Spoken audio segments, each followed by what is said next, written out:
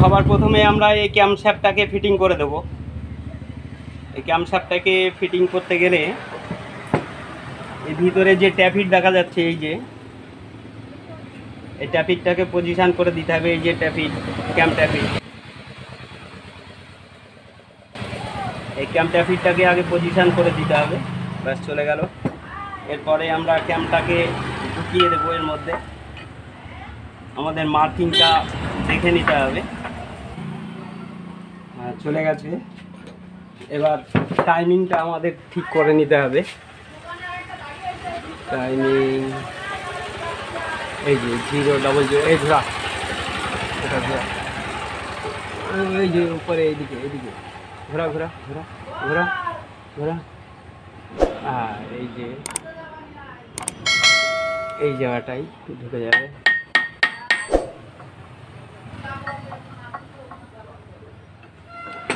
এইখানটাই আমরা ঢুকিয়ে দেবো।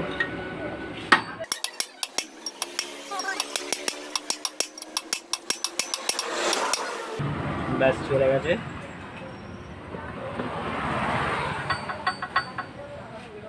এবার আমাদের মার্কিংটা ঠিক হয়েছে নাকি সেটা দেখে নিতে হবে ভালো করে। ঘোরা দেখি অল্প একটু পিছনে দিকে। আহ, ব্যাস হ্যাঁ ঠিক আছে। এই যে, এই জায়গায় একটা জিরো আছে, এটা বোঝা যাচ্ছিল না। আর এইখানটায় একটা জিরো আর এই জিরো মানে মিডিলেই আছে। সঠিক জায়গায় আছে। এবার একটু ঘোরা। এই যে লক নাটটাকে দিয়ে নিতে হবে। ঘোরা। ঘোরা। ঘোরা একটু। ব্যাস ব্যাস ব্যাস, থাক।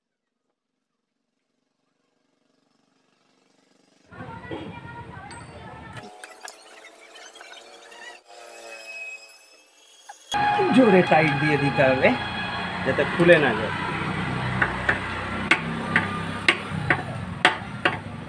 ব্যাস। ঠিক আছে? এদিকে কমপ্লিট হয়ে গেল। এবার আর দেখেন, এক ফুটাও আর নড়ছে না। মানে একটুও ক্লিয়ার হচ্ছে না। ওটা তো আগে ক্লিয়ার ছিল।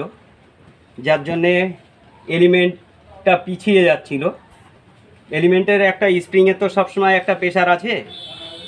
এই যে এলিমেন্টের সবসময় একটা প্রেশার আছে, তাতে করে ক্যাম্পটা পিছিয়ে যাচ্ছিল। এতে করে তেলটা কম দিচ্ছে হিসাব মতো। যার জন্যে ইঞ্জিনটা স্টার্টে প্রবলেম আসবে এক নম্বর, দুই নম্বর মিস ফায়ার হান্ড্রেড পারসেন্ট ছিল এই ইঞ্জিনটাই যাই হোক, এবার আমরা বিয়ারিংটাকে চেঞ্জ করে দিয়েছি। তার মানে এইখানটায় যে ওয়াশার একটা ছিল আমাদের ওয়াশার বাড়াতে হবে না হলে কিন্তু এইটার আমরা যদি এই অবস্থায় আমরা ফিটিং করে দিই, তাহলে কিন্তু নজেলটা বারবার ধরে নেবে। এই ওয়াশার আমাদের এখন বাড়াতে হবে, তার মানে তেলটা বেশি দেবে এখন, সেই তেলটাকে কমাতে হবে। তা এদিক দিয়ে আমরা যদি না কমাই, তাহলে নজেলটা বারবার সিজ হয়ে যাবে, ধরে নেবে। তা চলুন এখানে ওয়াশার আমরা দিয়ে দিই আরও দূর দেখি দুই একটা। এই ওয়াশার দিয়ে আমরা এবার হাই করে দেবো এলিমেন্টটাকে। এবার এটাকে ফিটিং করে দিতে হবে। এবার এই র্যাকটার মধ্যে দিয়ে দিতে হবে এটা। ঘোরা ঘোরা ঘোরা ঘোরা ঘোরা। বাস, এই যে ডাউন জায়গা চলে আসলো। এই যে।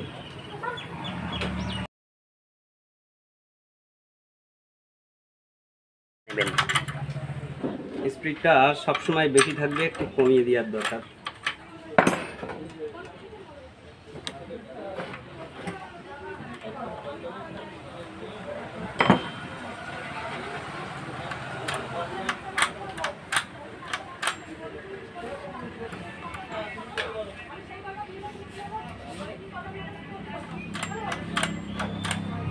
ব্যাস এইখানটায় টাইট দিয়ে দিই তাহলে। এইখানটায় টাইট দিয়ে দিলাম। এইবার এইখানটায় দেখেন, দেখতে হবে যে কতটা আসছে, সঠিক আসছে কি না আবার এদিকেও গভর্নরের সঙ্গে টাচ হতে হবে। হ্যাঁ ঠিক আছে। সঠিক আছে। আমরা টাইমিং কভারটা লাগানোর আগে ফিল্টারটাকে একটু দেখে নেব। পরিষ্কার আছে নাকি? যদি পরিষ্কার থাকে তাহলে এখনই ফিটিং করে দেবো, আর না হলে পরে এটা একটু সাফ করে দিতে হবে নোংরা হয়ে রয়েছে ফিল্টারটা, একটু পরিষ্কার করে নেব।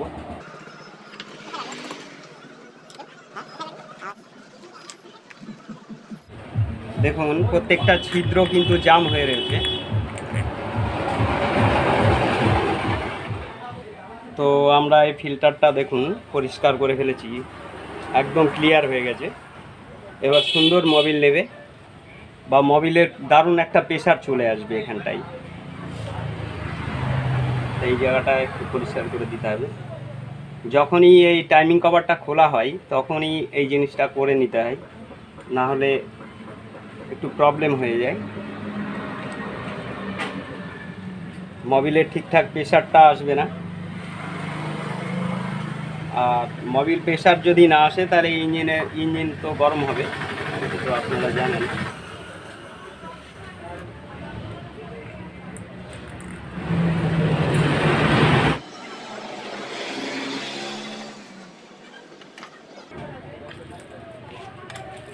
ব্যাস, এটা টাইট করে দিয়ে দিতে হবে।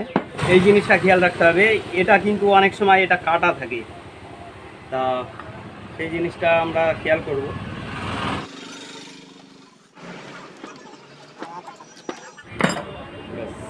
মোবিল, মবিল পাম্পটা ঠিক এইভাবে আছে। তো ক্যামটাও আমাদের এইভাবে ঘুরিয়ে নিতে হবে, কারণ এটা গ্রুপের মধ্যে না গেলে অসুবিধা আছে। নে, ঘোরা ঘোরা। ঘোরা, আর একটু। ব্যাস ব্যাস বেশি হয়ে গেল, বেশি হয়ে গেল। ব্যাস তাহলে এবার আমরা ফিটিং করে দেবো এটা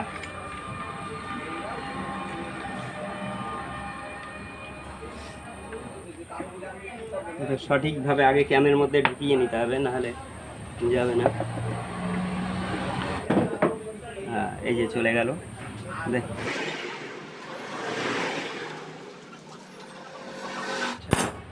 তো আমাদের টাইমিং কভার কমপ্লিট করে ফেললাম এটা। এবার আমরা সিলিন্ডার পিস্টনটাকে সেটিং করব।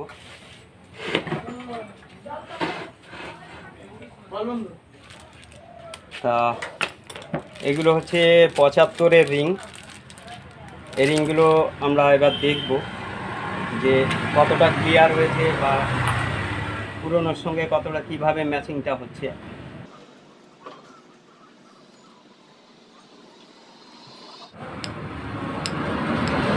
অসুবিধা হবে না। ক্লিয়ারটা সবটাই একই। যাই হোক, আমরা পিস্টনটার থেকে নতুন এই পুরনো রিংগুলো খুলে ফেলি ধর।